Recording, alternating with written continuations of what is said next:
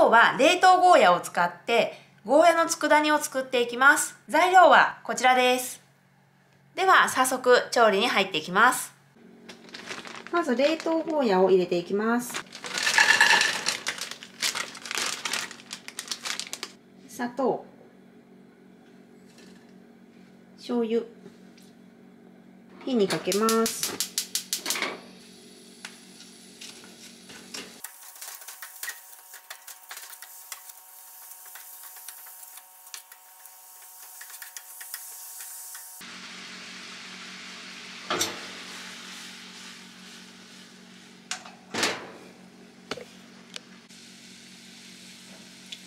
はい煮汁がだいぶなくなってきてゴーヤが少しくすんできたので、まあ、これぐらいでいいかなと思います。でここで一旦鰹節を混ぜます。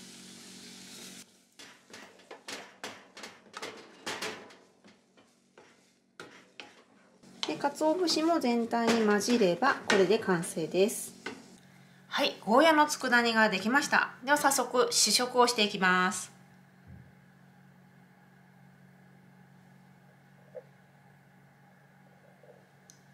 今回砂糖と醤油の割合を2対1にしたんですけども結構しっかりと砂糖の味が効いててゴーヤのほろ苦さが後からついてくるっていう感じで美味しい佃煮に仕上がりました。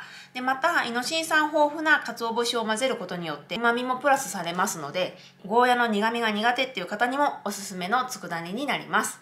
とても簡単にできますので、ぜひお試しください。ご視聴ありがとうございました。今後も野菜果物の豆知識レシピを紹介していきますので、ぜひチャンネル登録よろしくお願いします。